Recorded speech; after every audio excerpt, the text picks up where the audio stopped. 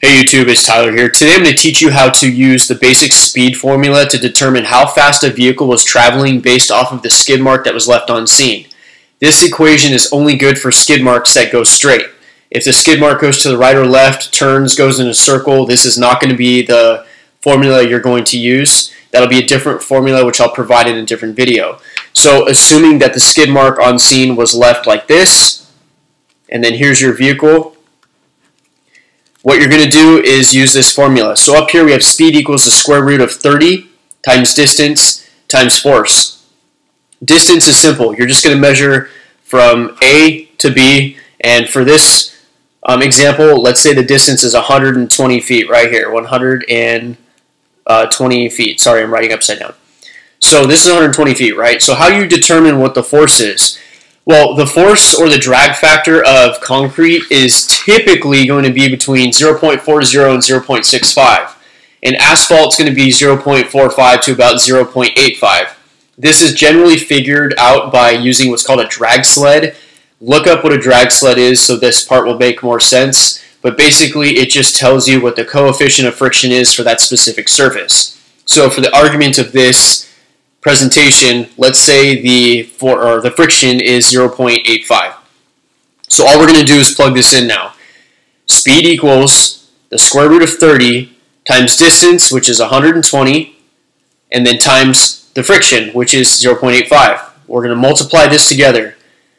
You're going to get 3,060. And then we're going to get the square root of that.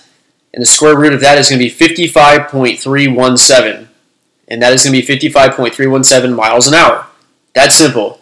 So the vehicle is roughly traveling 55.317 miles an hour prior to it colliding into another object. If you want to convert that speed into velocity, all you need to do is take your speed, multiply it by the velocity conversion of 1.467, and then you get 81.150 feet per second. Okay, so for this next part, let's say the skid mark is no longer in a straight direction like I had in the other video. Let's say the skid mark goes into a curve just like this, right? Like somebody was drifting. Very often you're going to see that these skid marks have little um, sideways marks in them. I forget what they're specifically called, but that's basically when a vehicle is understeering and the tire's folding on itself. So you kind of get this little uh, etch into your skid mark. So how we're going to measure the speed somebody was traveling based off of the arc of the uh, skid mark is going to be done by taking your measurement from the beginning of the skid mark to the end. This actually could be done from even the uh, about right here to here. Um, it doesn't matter. Just pick a length. Um, I personally like to measure the full length of the skid mark um, to give me a little bit more of an accurate reading per se. So let's say this um, from, from point A to point B was 120 feet. The midpoint of 120 feet is 60 feet. So at the 60 foot mark, we're going to draw this little line like I did right here, pretending that's going to be the center of the skid mark. And then we're going to measure from here to the top of the arc. And that's going to be a seven foot difference. So now we're going to plug that into the formula. So the formula is going to be radius equals C stands for chord. Chord is going to be the measuring tape that you used. So in this case, it's 120. So radius equals chord squared divided by 8. M stands for midpoint, and midpoint is going to be the 7 feet right here because it's the midpoint between um, your measurement to the top of the arc. Plus the midpoint divided by 2. So now we have radius equals 120 feet, right? The length of the um, the length of the entire skid mark squared divided by 8 times 7, which is the midpoint, plus 7 divided by 2. That gives us R equals 14,400 divided by 56 plus 3.50. And then break that down even more. Radius equals 257.142 plus 3.50. And then you get a total radius of 260.642. Now we're going to plug that radius, which is the radius of this entire skid mark, into the speed formula.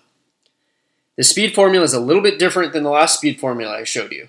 Uh, this one's specific to trying to figure out the radius of the arc. Okay, so this is only going to work for these type of skid marks. So now you're going to have speed equals the square root of 15 times radius times force.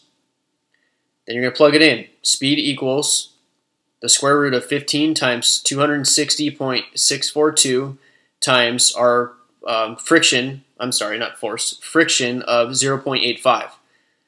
We're going to get 3,323.185, and then we finally get our speed. So the speed the vehicle was traveling to produce this type of arc was approximately 57 miles an hour, or 57.647 miles an hour.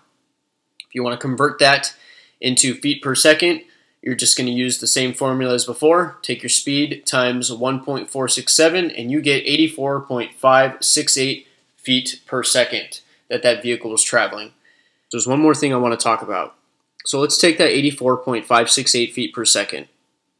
Generally, the average human reaction time to anything is 1.5 seconds. That's three quarters of a second to recognize the threat or recognize what you might be running into and then three quarters of a second to react to it.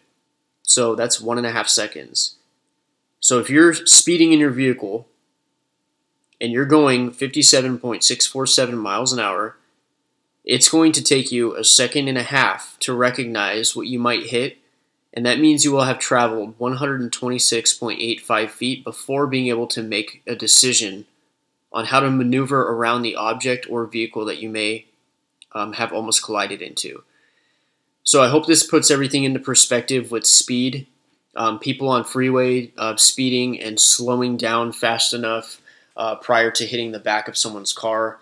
Um, lastly, before I end this video, the whole purpose of showing you the speed formula is to not only help you grow in your education with um, traffic collision diagrams, but more so recognize that it is critically important to recognize the speed you're traveling the distance between yourself and another vehicle, and of course, always wear your seatbelt. Thanks for watching.